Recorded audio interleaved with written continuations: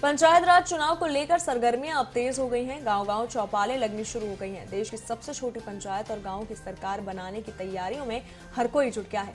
गाँव की सरकार बनाने के लिए एक और निर्वाचन विभाग ने कमर कस ली है, वहीं दूसरी ओर रातों रात रातों रात यहाँ सरपंच, दावेदार द्वारा अलग अलग जगह पर वोट मांगने निकल पड़े हैं। हर कोई अपने अपने दावे कर रहा है, हर कोई अपनी जीत के समीकरण बिठा रहा है। टोंक ज़िले की सबसे बड़ी ग्राम पंचायत पीपलू है जहाँ पर कुल 5,913 मतदाता हैं। इनमें से 3,100 पुरुष हैं और 2,913 महिला मतदाता हैं।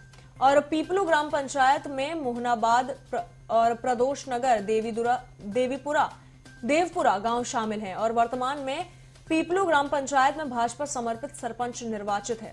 जिन्होंने पिछले चुनावों में सियासी दृष्टिकोण से जो वादे जनता से किए थे, उनमें से कई वादों को तो अमली जामा पहनाया है। कई मोहल्लों में सड़कों का निर्माण तो करा दिया गया है, लेकिन नालियों का निर्माण अभी तक नहीं हुआ है। नहीं, उस नालियों का निर्माण नहीं होने से कीचड़ की समस्या से भी लोगों को निजात नहीं मिल पाया है।